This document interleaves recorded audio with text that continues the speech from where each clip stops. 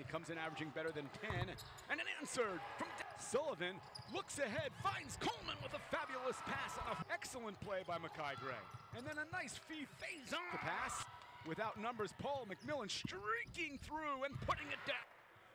Teams feeling each other out right now as a lob to a sour for McMillan. Another turnover up to Gray. Look out below as he.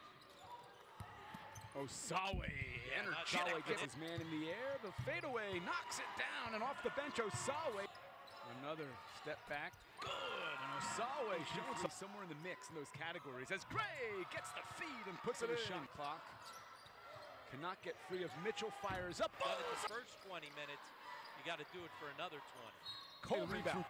Three on two come the Highlanders. Coleman on the bounce pass and the finish. Hess stutter steps, bangs, and connects. Oh, the drive. Osawe, yes, count. Broken, one more pass to Diakite.